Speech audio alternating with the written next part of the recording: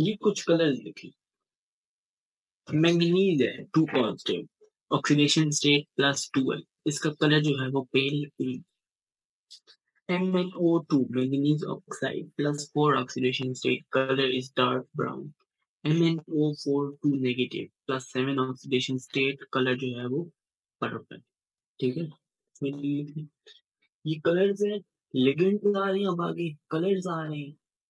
कुछ कॉम्प्लेक्स आए उनके कलर्स ये आपको याद होंगे मैंने एएस की इनऑर्गेनिक जब पढ़ाई थी तब मैंने कहा था कि आपको इनऑर्गेनिक और ऑर्गेनिक दोनों के रिएक्शन ऐसे याद होने चाहिए इस तरह याद हो कि जैसे आपको कोई अभी आपको उठाए और आपसे आपका नाम पूछे तो आपको आता होता है कोर्स तो इसी तरह अगर आपसे कोई एकदम बैठे बैठे पूछे तो आपको पता होगा क्या इसके रिएक्शन है। प्लीज़ इसी नोट में आगे चलती है।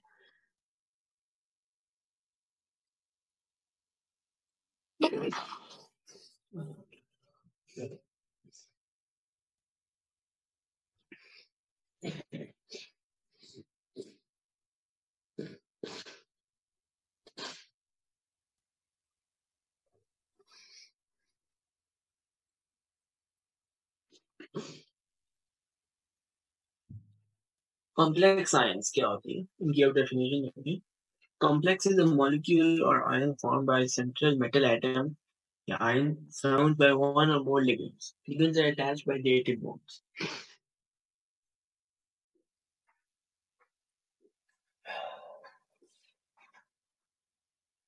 इसके बाद ये कह रहे हैं कि लिगिन की भी थोड़ी सी वो दी हुई है, कि ligand is species that contain the lone pair of electron that form the dative bond to central metal and to form complex ion ठीक है? लिगिन सी एग्जांपल अभी मैं आ गया आपको तो ये लिख लें आप। So the metal have strong tendency to form complex in constitution अब इसको लिखिए प्लीज़ दस्ती दस्ती हाथ चलाएँ।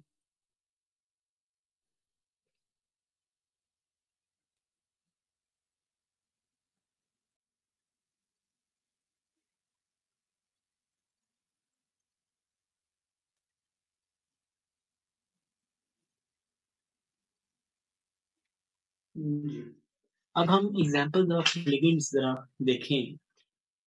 तो ये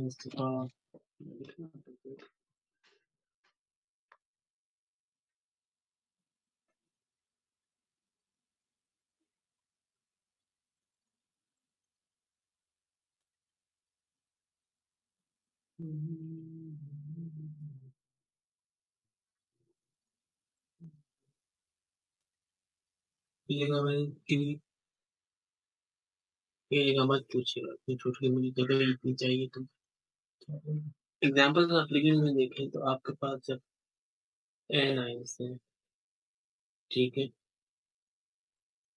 इसमें एन आइंस में हैं सी है negative B R negative F negative I negative O S negative और नेगेटिव ठीक है? न्यूट्रल मॉलिक्यूल्स में ये तो एन है अब न्यूट्रल मॉलिक्यूल में देखें तो वाटर है और अमोनिया ठीक है।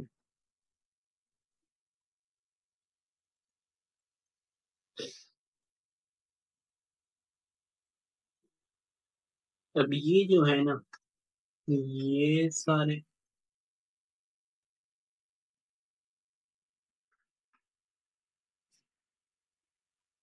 ना पता ये सारे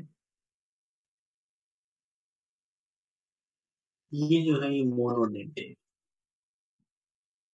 मोनोडेंटेट आ गया है। और आपके पास जो नेगेटिव सी ओ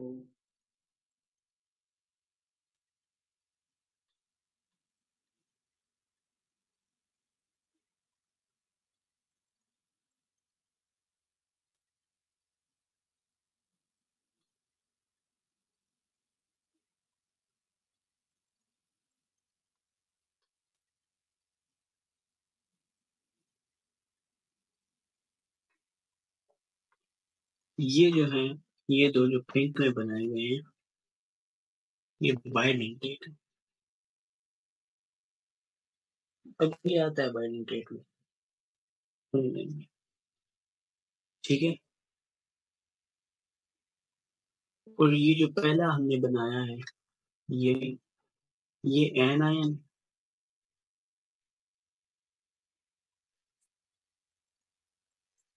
और ये जो है, ये न्यूट्रल ठीक है?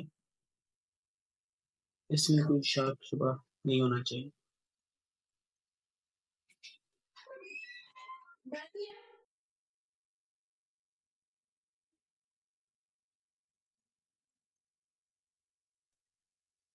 ठीक है? कॉपी कर लिया इसको। कर लें कॉपी कर इसको क्यों कर दूँ। ये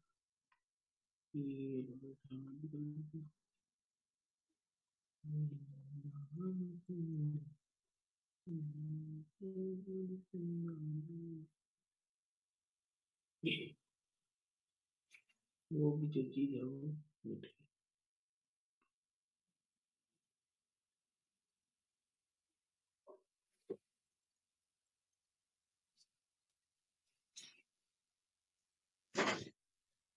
गई प्ले होने बस चला गया ठीक है? अब ये लिखें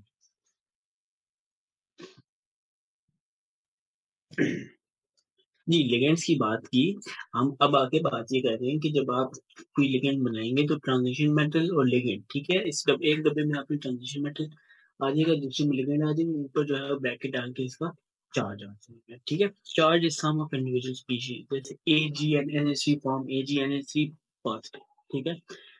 ये A G N H three positive है टॉलरेंस रिएजेंट है, ठीक है? A S organic chemistry okay अब जो यहाँ पे एन एच थ्री है, ये जो एन एच थ्री है दिस इज़ अ लिगेंड ठीक है?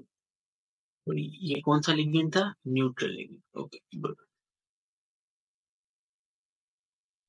coordination number की बात हम करें तो कोऑर्डिनेशन नंबर की बात हम ये करते हैं कि the number of dative bonds from ligands to central metal ends is called coordination number typical coordination number is 2 4 और 6 4 and 6 are more common for transition elements ठीक है? कुछ एग्जांपल मैं आपको दो तीन करा देता हूँ इसकी कोऑर्डिनेशन नंबर्स की। आप देखेंगे आपके पास एक new uh, H2O six two first ठीक है? ये जो है, ये जो वाटर है it makes six bonds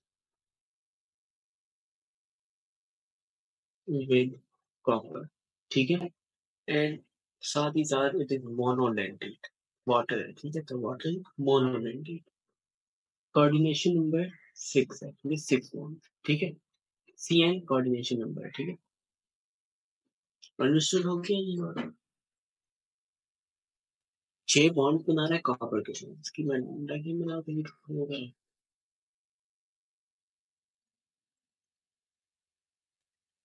H2O OS2 2 H2O OS2 2 six bond बन गए ब्रैकेट आर के यहाँ पे आप टू बॉन्ड तो सिक्स बॉन्ड बन गए कॉपर के साथ बिल्कुल बन गए अब अब एक और एग्जांपल देखें। जी, इसको नोट करें। A G N S three इसकी एग्जांपल देखें अब आप। ये ट्रैक करिए हम जिन्होंने निकाली हुई। बताएँ कि इसका कोऑर्डिनेशन नंबर क्या है।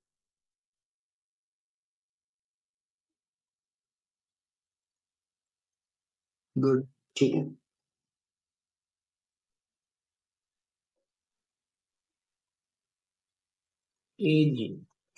N S three bracket में टू पाँच इसका जो कोऑर्डिनेशन नंबर है वो टू ठीक है।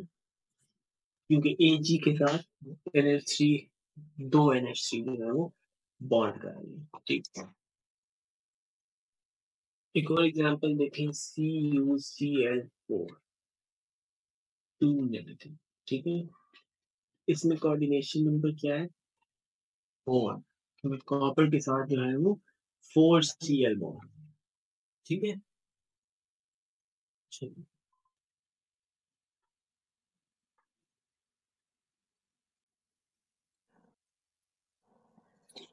जी तो लास्ट क्लास लास्ट अभी हमने ये देखा कि हमने ये वाली जो, ये वाली बात है कोऑर्डिनेशन नंबर्स वाली वो बात कर ली। कोऑर्डिनेशन नंबर की डेफिनेशन क्या है? कोऑर्डिनेशन नंबर की प्लीज़ ये आप डेफिनेशन जो है वो नोट कर लें। The coordination number of a complex is number of dative bond form by ligand with central metal sway okay अच्छा मूविंग ऑन अब कोऑर्डिनेशन नंबर ये बात जो है वो उसको साइड पर करते हैं। और शेप्स ऑफ़ कॉम्प्लेक्स आयंस देखते हैं, ठीक है?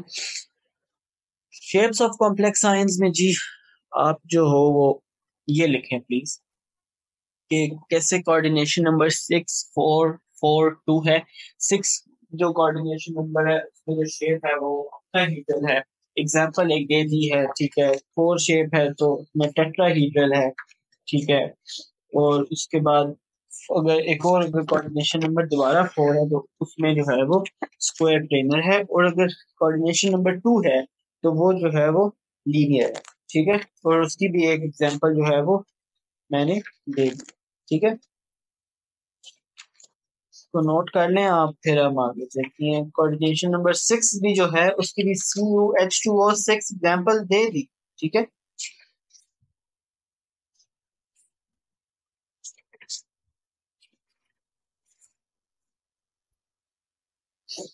अब अगली चीज़ जो आती है वो एग्जाम्पल्स ऑफ़ कॉम्प्लेक्स आयंस है और उसमें हम बात करते हैं इन तीन कॉम्प्लेक्स आयंस की।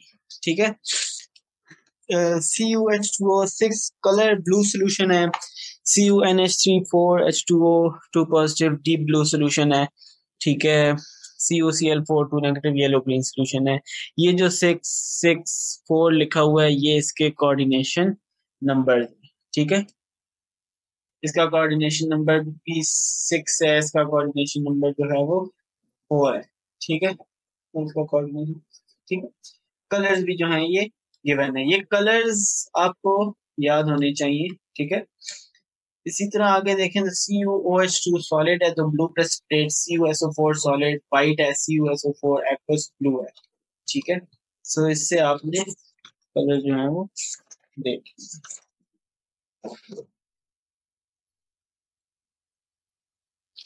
अच्छा जी।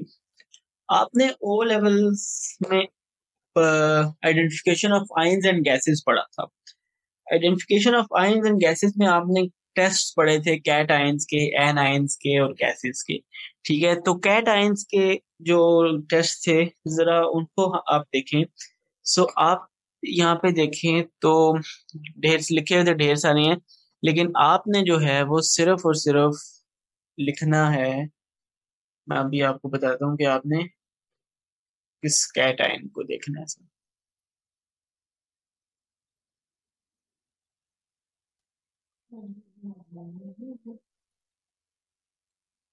आपने जो हो, वो आपने कॉपर को देखने से, ठीक है? बाकी aluminium, ammonium, calcium, chromium, iron, zinc को भूल जाओ, सिर्फ़ और सिर्फ़ कॉपर को देखो, ठीक है? या आप ओ लेवल्स में C U two positive aqueous लिखते थे, लेकिन अब आप ए टू में आके C U H two O six लिखेंगे, ठीक है?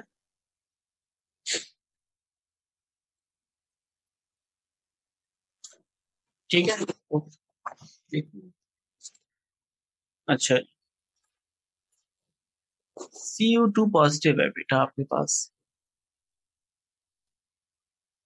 पॉजिटिव इसमें effect of aqueous N H जो था, वो क्या था?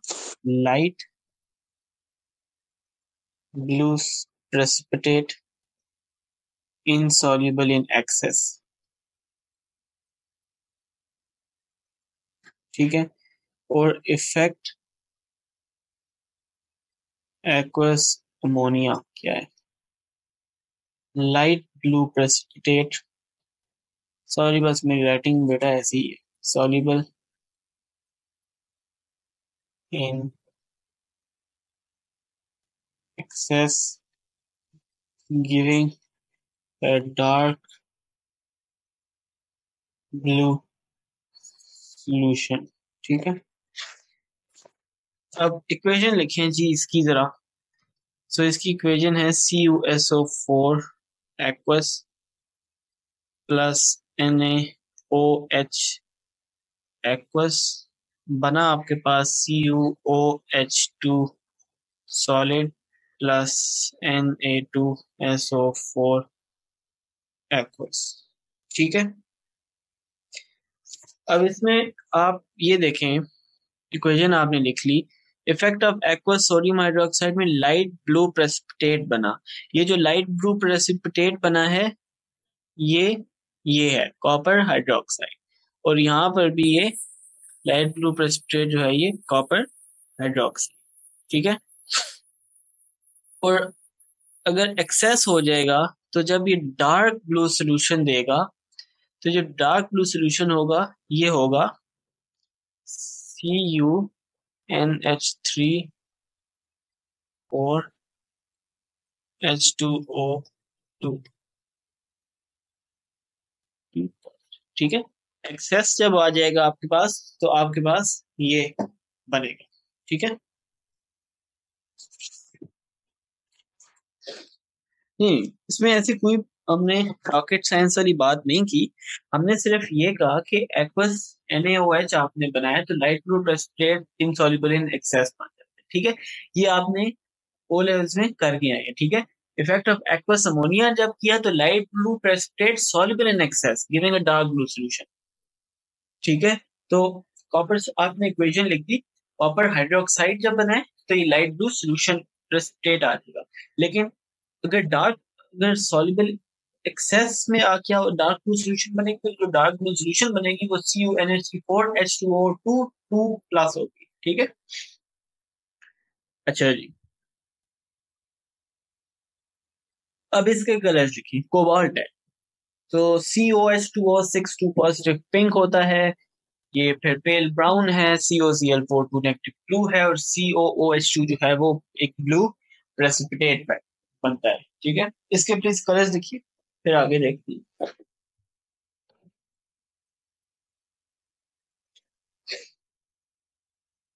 जी, इसको लिखिए प्लीज़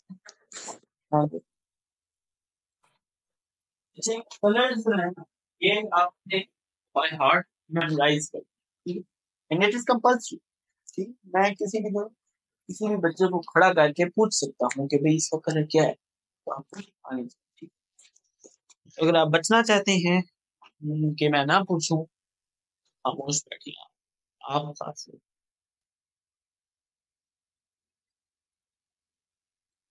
इसलिए